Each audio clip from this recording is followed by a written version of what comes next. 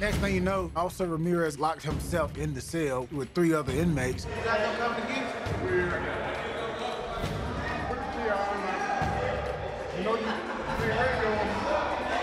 He pretty much went in the cell and the door closed behind him.